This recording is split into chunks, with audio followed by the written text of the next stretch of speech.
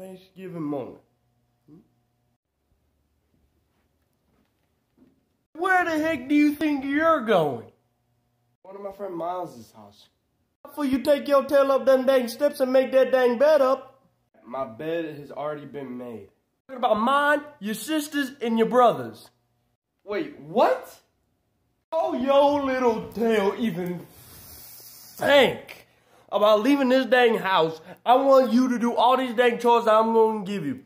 I want you to scrub the ceilings. I want you to scrub the ceiling fan. I want you to wash my dang TV. I want you, I want you to carve that dang chair out into a pumpkin. I want you to light those dang candles, and I want the plants watered. Dad, it's Thanksgiving Day. Normally you don't give me chores on Thanksgiving Day. Gosh dang it, it is Thanksgiving Day, but we're still gonna go to Mr. Jerome's house. Alright. James, get in here and wash these dang dishes. Dad, what are you talking about? There's no dishes in there for me to clean.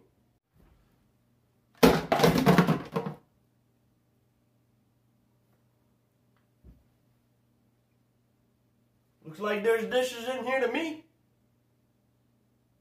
Now clean it up.